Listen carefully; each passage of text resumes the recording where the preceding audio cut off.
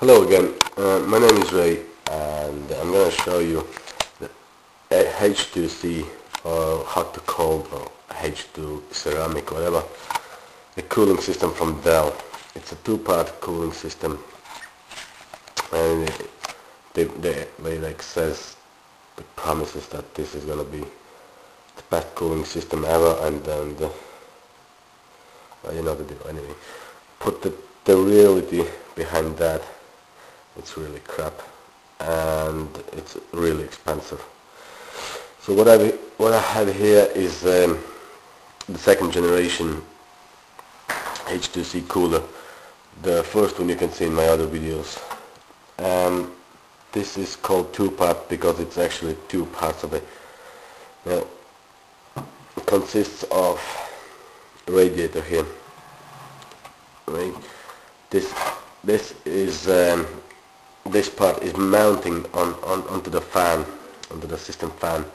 It's in every Dell XPS I've seen so far 720 or 730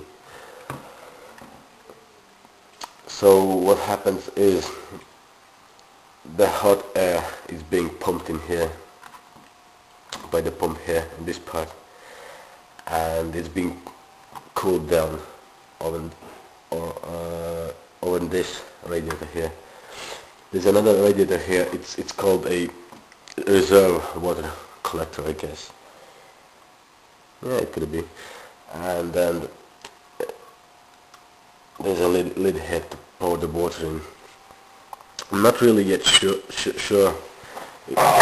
Is it, is it either a water or something else? Because uh, I had a leak here the previous owner uh, probably was overclocking the PC or something I don't, I'm not sure now but that sure blew up the pump. And then I still have the oxide around there that's a huge but yeah sure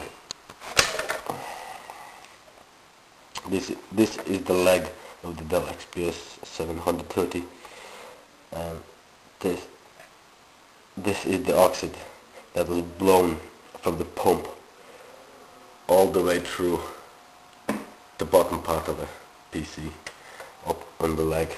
So it's not good. Now the thing the real thing about this this pump is that it's really expensive. I mean the prices I've found so far is uh, $700 for a refurbished for, from you know a single company like uh, it's probably a, consists of few men only.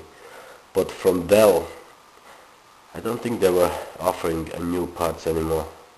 I'm not sure but um, I didn't see any. I seen only refurbished part and it cost 1190 uh, or something so 1200 which is ridiculous. That's that's a rip-off for this crap I mean, I should I, sh I should have gone for a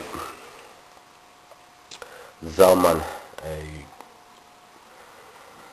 Zalman air cooler, you know. But for this kind of system, just have this one in here. So I'll, i just try to fix it. So what I'm going to do, what I'm going to do is unmount the pump here, right? There is a there's an oxide all around the cable there four cables. So that's probably the plus to minus the mass or the ground whatever. And a data cable to regulate the pump speed to, to start it or stop it. Some little fan here. But some of the people might actually might actually get confused. Why why would it need this kind of such small fan? You know, it's pretty simple. As the air cooling systems, um, they well they sorry um, got lost here. So the normal air cooling systems, well, they are uh, cooling down the processor. They are also cooling down the components on the motherboard around it so you know water pump is is a water pump. All the fluid goes in here the cold fluid and exchanges with the hot fluid.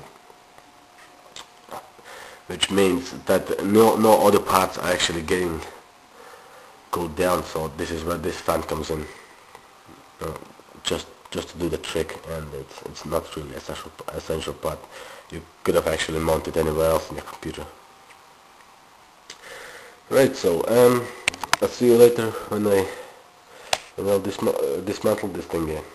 See you later